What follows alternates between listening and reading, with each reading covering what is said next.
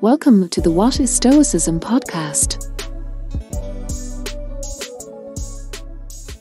This episode is a reading of Book 11 of Marcus Aurelius's Meditations.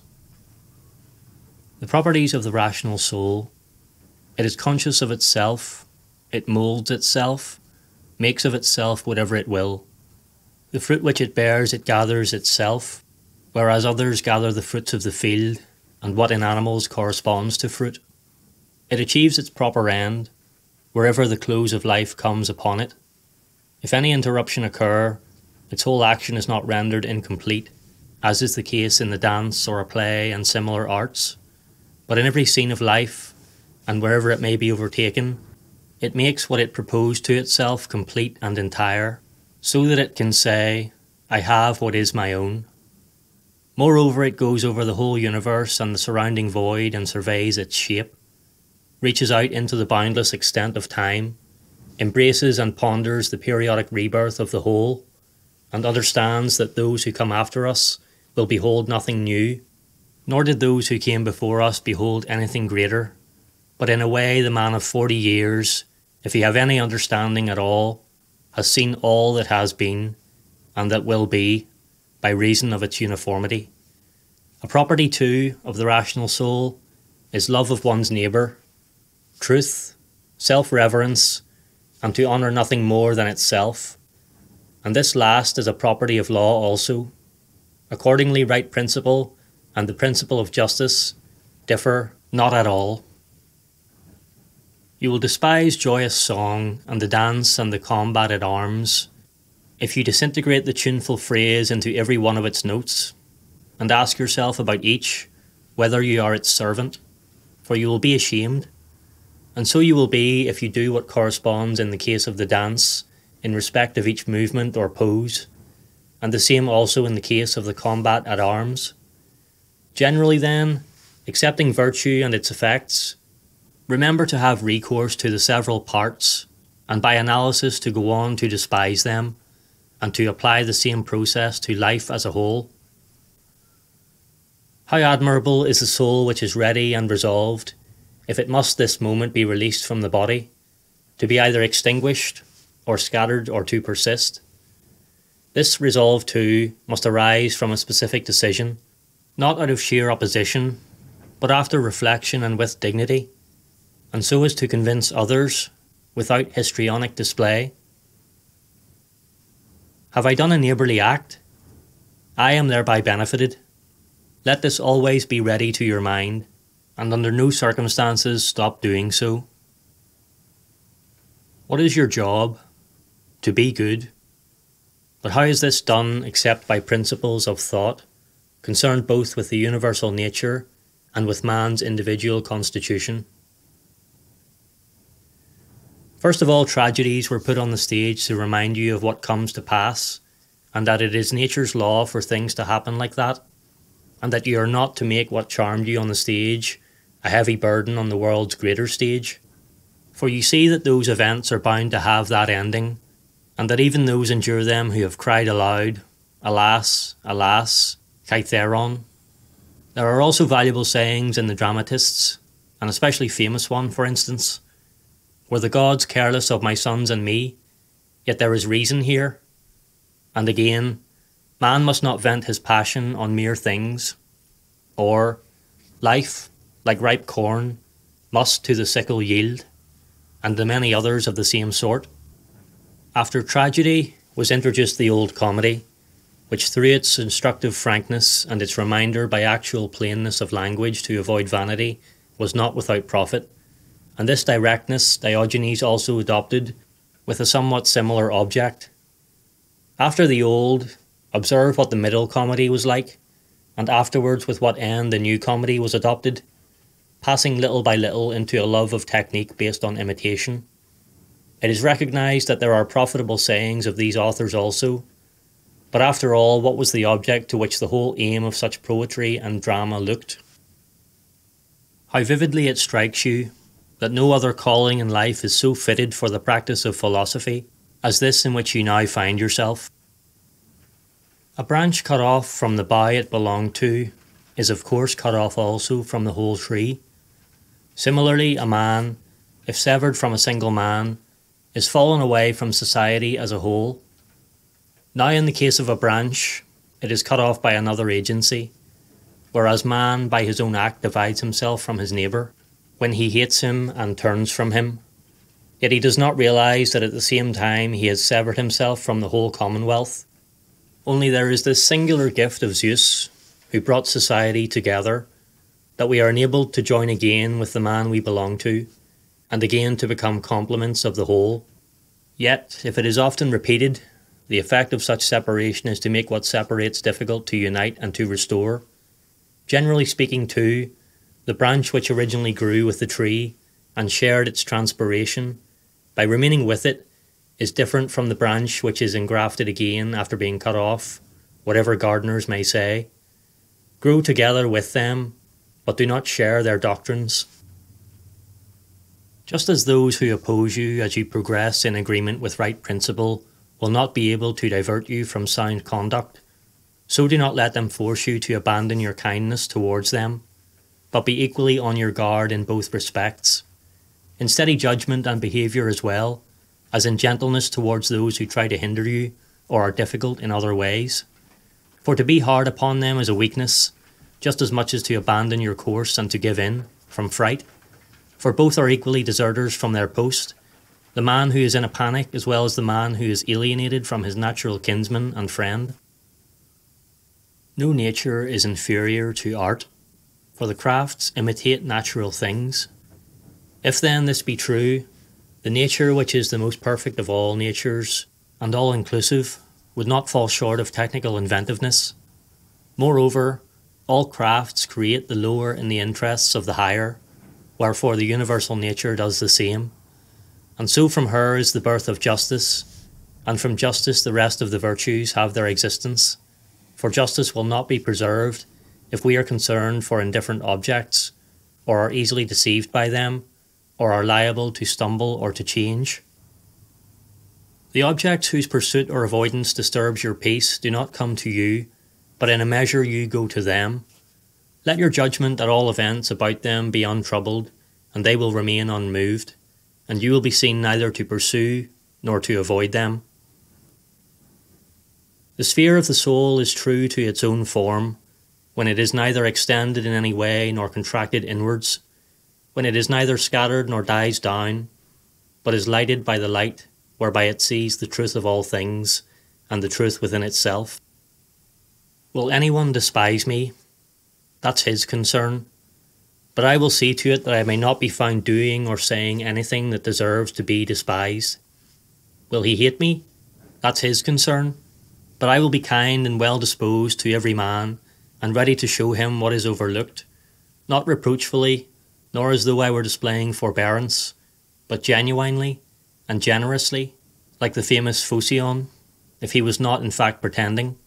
For the inward parts ought to be like that, and a man ought to be seen by the gods to be neither disposed to indignation nor complaining.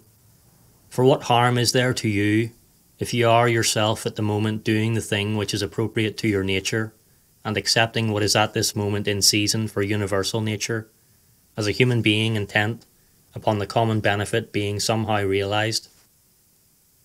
They despise one another, yet they flatter one another. They want to get above one another, and yet bow down to one another. How rotten and crafty is the man who says, I have made up my mind to deal plainly with you. What are you about, my friend? This preface is not necessary. The intention will reveal itself. It ought to be graven on the forehead. The tone of voice should give that sound at once. The intention should shine out in the eyes at once, as the beloved at once reads the whole in the glances of lovers. The simple and good man ought to be entirely such, like the unsavoury man, that those who stand by detect him at once, whether he will or not, as soon as he comes near. But the affectation of simplicity is like a razor. Nothing is uglier than the wolf's profession of friendship. Avoid that above all. The good and simple and kind has these qualities in his eyes, and they are not hidden. Live constantly the highest life. This power is in a man's soul, if he is indifferent to what is indifferent, and he will be so if he regard every one of these indifferent objects as a whole and in its parts, remembering that none of them creates in us a conception about itself, nor even comes to us, but they are motionless, and it is we who create judgments about them, and so to speak, inscribe them on ourselves. And yet we need not inscribe them, and if we do so unconsciously, we can wipe them off again at once. Remember too that attention to this kind of thing will last but a little while, and after that life will have reached its close. And yet, what difficulty do these things present? If they are what nature wills, rejoice in them, and you will find them easy. If they are not, look for what your own nature wills and hasten to this, even should it bring you no glory. For every man is pardoned if he seeks his own good. What the origin of each experience is, and the material conditions of each, what it is changing into, and what it will be like when it has changed, and that it will suffer no injury by the change.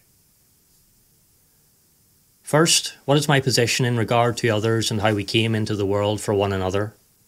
And, to put it in a different way, that I was born to protect them, as the ram protects his flock or the bull his herd. Then, going further back, proceed from the truth that, unless the universe is mere atoms, it is nature which administers the whole. And granted this, the lower are in the interests of the higher, the higher for one another. Secondly, what creatures they are at board and in bed and so on, and above all, what kind of compulsion they are under because of their opinions, and with what arrogance they do what they do. Thirdly, that if what they do is right, you ought not to complain, but if what is wrong, clearly they act involuntarily and in ignorance. For as every soul is unwilling to be deprived of the truth, so is it unwilling not to be related to every man according to his worth. At any rate, they resent it, if they are spoken of as unjust, inconsiderate, overreaching, in a word, as wrongdoers in regard to their neighbours. Fourthly, that you yourself also often do wrong, and are another such as they are, and that, even if you do abstain from some kinds of wrong action, at all events you have at least a proclivity to them, though cowardice or tenderness for your good name or some similar bad motive keeps you from offences like theirs. Fifthly, that you are not even sure that they actually do wrong, for many actions are done to serve a given purpose, and generally one must ascertain much before making a certainly correct decision upon a neighbour's conduct. Sixthly, when you are highly indignant or actually suffering, that man's life is but a moment, and in a little we are one and all laid low in death. Seventhly, that it is not what they do that troubles us, for that lies in their own governing selves, but it is our judgments about them. Very well, then, remove your judgment about the supposed hurt, and make up your mind to dismiss it, and your anger is gone. How then will you remove it? By reflecting that what hurts you is not morally bad, for unless what is morally bad is alone hurtful, it follows of necessity that you also do much wrong, and become a brigand and a shifty character. Eighthly, how much more grievous are what fits of anger and the consequent sorrows bring than the actual things are which produce on us those angry fits and sorrows. Ninthly, that gentleness is invincible, if it be genuine and not sneering or hypocritical. For what can the most insolent do to you if you continue to be kind to him and if opportunity allows, mildly admonish him and quietly show him a better way at the very moment when he attempts to do you injury. No, my child, we came into the world for other ends. It is not I that am harmed, but you are harmed, my child. And point out with tact and on general grounds that this is so, that not even bees act like that, nor the many creatures that are by nature gregarious. But you must not do it ironically or as if finding fault but affectionately, and not feeling the sting in your soul, nor as if you were lecturing him or desired some bystander to admire you, but even if others are present, just in the way you would address him if you were alone. Remember these nine brief prescriptions, taking them as a gift from the Muses, and begin at last to be a human being while life remains, and be as much on your guard against flattering them as against being angry with them, for both faults are unsocial and tend to injury. And in your anger fits, have the maxim ready that it is not passion that is manly, but that what is kind and gentle, as it is more human, so is it more manly, and that this is the character which has strength and sinews and fortitude, not that which is indignant and displeased. For as this is nearer to imperturbability, so it is nearer to power. And as grief is a mark of weakness, so also is anger, for both have been wounded and have surrendered to the wound. And if you will receive a tenth gift from the leader of the nine muses, the proposition that it is madness to require bad men not to do wrong, for it is aiming at the impossible, still to permit them to be such to others and to require them not to do wrong to yourself, is to be unfeeling and tyrannical. You are especially to guard unremittingly against four moods of the governing self, and to wipe them out whenever you detect them, using in each case the following remedies. This imagination is not necessary this is a solvent of society. This which you are about to say is not from yourself, and not to speak from yourself you must consider to be most incongruous. The fourth thing that will cause you to reproach yourself is that this ensues from your more divine part being overcome and yielding to the less honourable and mortal portion, the body and its gross pleasures. Your element of spirit and all the element of fire that is mingled in you in spite of their natural upward tendency, nevertheless obey the ordering of the whole, and are held forcibly in the compounded body in this region of the earth. Once more, all the elements of the earth and of water in you, in spite of their downward tendency, are nevertheless lifted up and keep to a position which is not natural to them. In this way, then, even the elements are obedient to the whole, and when they are stationed at a given point, remain there by compulsion until once more the signal for their dissolution is made from the other world? Is it not then monstrous that only your mind element should disobey and be dissatisfied with its station? Yet nothing is imposed upon it that does violence to it, only what is in accord with its own nature, and still it does not tolerate this, but is carried in a reverse direction. For movement towards acts of injustice and habitual vice, towards wrath and sorrow and fear, is nothing else but a movement of severance from nature. Moreover, when the governing self is discontented with any circumstance, then too it deserts its proper station, for it is constituted for holiness and the service of God no less than for just dealing with man. For these relations belong in kind to good fellowship, or rather are even more to be reverenced than just dealings. He who has not one and the same aim in life is unable to remain one and the same through all his life. The saying is incomplete unless you add what sort of aim it should be. For as the conception of all the variety of goods which the majority of men fancy in any way to be good is not the same, but only the conception of certain of the kinds of goods, namely the general goods, so the aim to be set before oneself must be the social aim. That is the aim of the commonwealth. For he who directs every private impulse to this will make all his actions uniform, and because of this, will always remain the same man. Think of the mountain mouse and the town mouse, and the fright and scurry of the latter. Socrates used to call the opinions of the multitude like other things, bogies, things to frighten children. The Spartans used to put seats for visitors at their entertainments in the shade, and to seat themselves wherever they found room. Socrates' message to Perdiccas to excuse a visit to his court, to avoid, he said, coming to a most unfortunate end, that is, to be treated handsomely and not to have the power to return it. The writings of the school of Epicurus lay down the injunction to remind oneself continually of one of those who practiced virtue in the days gone by. The Pythagoreans say, Look up to the sky before morning breaks, to remind ourselves of beings who always in the same relations and in the same way accomplish their work, and of their order, purity, and nakedness. For a star has no veil. What a man Socrates was in his undergarment only, when Xanthippe took his upper garment and went out and what he said to the friends who were shocked and retired when they saw him in that dress. In writing and reciting, you will not be a master before you have been a pupil. This is much more true of living. You are a slave by nature, reason is not your part. And my dear heart laughed within.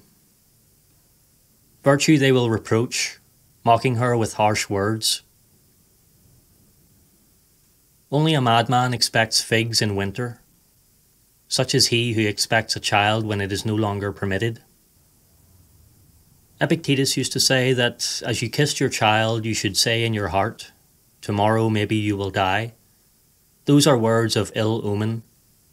No, he replied, nothing that means an act of nature is an evil omen, or it would be a bad omen to say that the corn has been reaped. The unripe grape, the ripe bunch, the dried raisin, all are changes, not to nothing, but to what at this moment is nothing. There is no robber of the will, as Epictetus says. He said too, You must find out an art of assent, and keep your attention fixed in the sphere of the impulses, that they may be controlled by reservation, be social, and in proportion to value. And you must wholly abstain from desire, and employ aversion in regard to nothing that is not in our own control. So we are contending, he said, for no ordinary prize, but for whether we are to be sane or insane. Socrates used to say, What do you want?